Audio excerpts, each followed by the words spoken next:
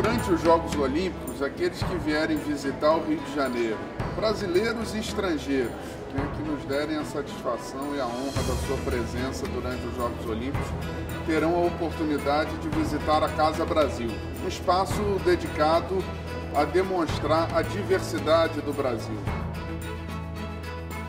Casa Brasil é o espaço do governo federal aqui nos Jogos Olímpicos e Paralímpicos Rio 2016, onde são apresentadas diversas atrações, como a exposição da linha do tempo dos Jogos Olímpicos, para que os, os visitantes possam é, ter uma vivência mais próxima dos Jogos e conhecer todas as potencialidades do nosso país.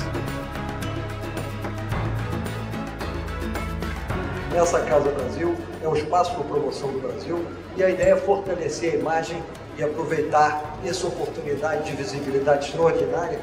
Todos os grandes pontos de mídia do mundo estão focados no Brasil brasileiro.